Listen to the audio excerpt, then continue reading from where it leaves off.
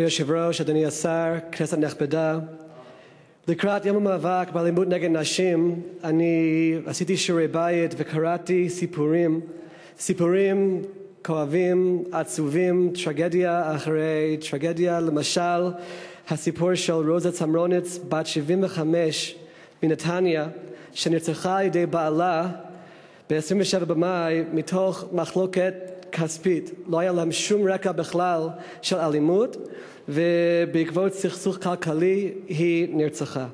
זה עצוב וכואב לא רק ממבט האנושי, אלא גם ממבט היהודי.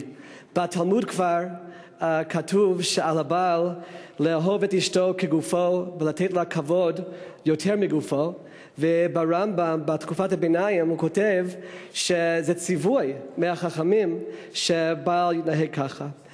חייבים לדעתי להקים מועצה לאומית למלחמה באלימות כלפי נשים וגם כדאי שאנחנו כבית נמצא את הדרך שחלק מהתהליך uh, לקראת נישואים יהיה חינוך והדרכה על איך לפתור סכסוך ואיך לכבוד אחד את השני ושבעזרת השם אנחנו נגיע למצב במדינה שלנו, מדינה יהודית שבאמת תהיה אור לגויים uh, עם אפס סיפורים של אלימות כלפי נשים בעזרת השם.